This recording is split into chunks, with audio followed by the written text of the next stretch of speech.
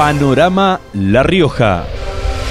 En el marco de los 132 años de Villa Unión, el gobernador Beder Herrera realizó una jornada de trabajo en la que inauguró las obras de refacción en la escuela de El Molle, entregó 124 netbooks para estudiantes de la zona y 117 mil pesos para la escuela 68 de Aicuña. La Rioja gasta el mayor presupuesto que tiene el país en educación.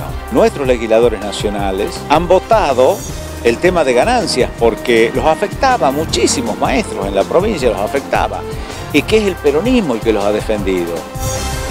Acompañado del viceministro de Desarrollo Social de la Nación, Carlos Castañeto, el gobernador visitó el lugar donde se construirá el centro de alto rendimiento en la reserva Pampa de la Viuda de Sanagasta. En los lugares donde uno pueda desarrollar este, el alto rendimiento y este lugar es un paraíso, digo un paraíso virgen donde me parece que hay mucho por hacer.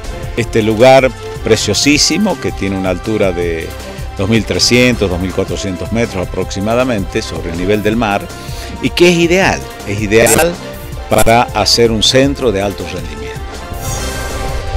El acto de entrega de 1.200 tarjetas a las destinatarias del programa Ellas Hacen fue encabezado por el gobernador Beder Herrera junto a la ministra de Desarrollo Social, Teresita Madera. Ellas van, retiran el monto que quieren retirar en el momento que desean hacerlo y lo gastan como desean ellos gastarlo. Y esto es restituir derechos y esto es revalorizar de nuevo a las mujeres. Ellas hacen un programa que hoy estamos largándolo y que mañana cada una de ustedes puede ir al banco, retirar la tarjeta e ir al cajero y cobrar 1.200 pesos.